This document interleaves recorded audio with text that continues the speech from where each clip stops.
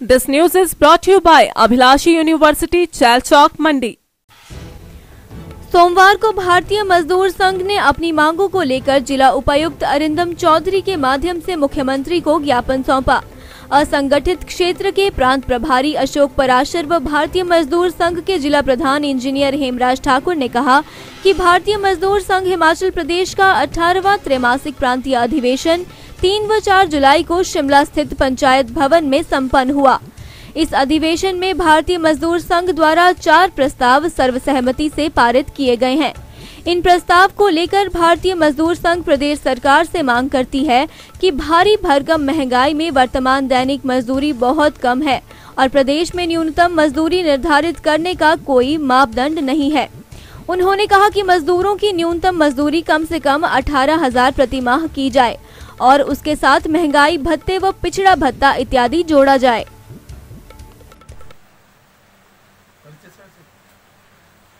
अशोक पराशर, प्रांत प्रभारी असंगठित क्षेत्र भारतीय मजदूर संघ का प्रांत अधिवेशन तीन चार जुलाई को शिमला में हुआ, जो कि कोरोना काल में वर्चुअल बैठक के माध्यम से लगभग 300 के आसपास कार्यकर्ता उसमें जुड़े।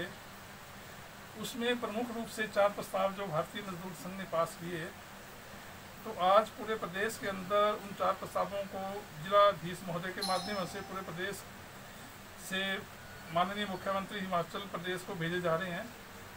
इसमें प्रमुख रूप से जो प्रस्ताव पारित किए हैं, उसमें सबसे पहले 2003 में जो पेंशन बहाली का जो योजना के अंतर्गत आता है, हमारी ये मांग है उस प्रस्ताव में मांग लाई गई है कि उसको बहाल किया जाए। नंबर दो पे आंगनवाड़ी आशा आशा कार्यकर्ता वर्कर सिलाई कढ़ाई अध्यापिका अंशकालीन कर्मचारी मिड डे मील कर्मचारियों को जो है वो, जैसे पीस मेल वर्कर्स और सोर्सेज को लेकर के भी हमारी ये प्रस्ताव पास किया गया है, इनको स्थायी नीति बना करके इनकी नियुक्ति न्यूनतम वेतनमान के आधार पर की जाए। तीसरे ये जो मिड डे मील कर्मचारियों की जो छंटनी के लिए निर्धारित 25 बच्चों की जो शर्त रखी है, उसको समाप्त किया जाए तथा उन्हें छुट्टियों का वेतन भी दिया जाए।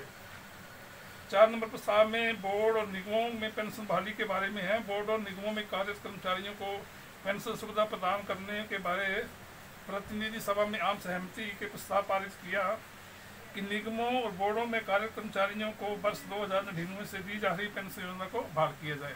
इस प्रकार के प्रस्ताव जो है, आज जिलाधीश महोदय के माध्यम से माननीय मुख्यमंत्री हिमाचल प्रदेश को दिए जा रहे हैं, ताकि इन प्रस्तावों पर चर्चा करके इस पे जो भी शीघ्र शीघ्र जो भी इसमें उचित कार्रवाई करके इनके ऊपर जो है, ये जो भारतीय मजदूर संघ की प्रमुख मांगे हैं, इनके ऊपर गौर किया जाए, ताकि इससे आने वाले समय में कर्मचारियों, मजदूरों में या संघ क्षेत्र के अंदर जो हमारे लोग जुड़े, हम लोगों से जुड़े हैं, उनको इसका लाभ मिल सके। धन्यवाद। जी।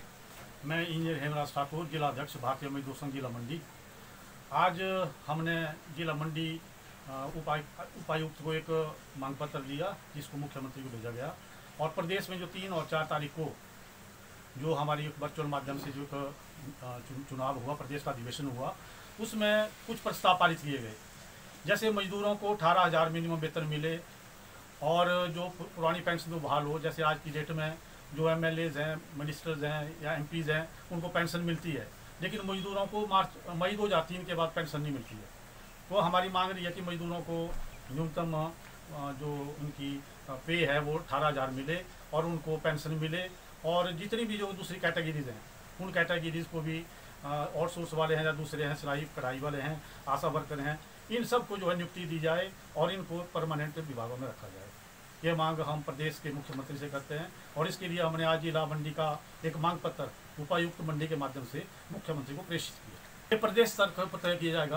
प्रदेश स्तर से जैसे कॉल होगी, हम उसके साथ चलेंगे। लेकिन आने वाले समय में अगर सरकार ने इन मांगों को पूरा नहीं किया तो प्रदेश स्तर के ऊपर एक बहुत बड़ा आंदोलन शुरू किया जाएगा, जिसकी जिम्मेवारी सरकार की दिव्य हिमाचल टीवी के लिए मंडी से विप्लव सकलानी की report.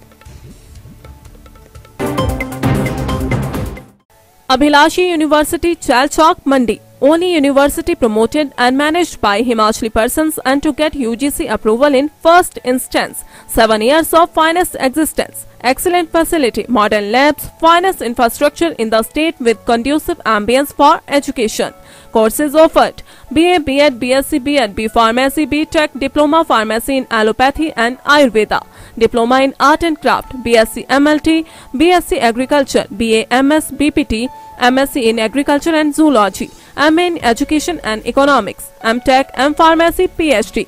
Contact for more details.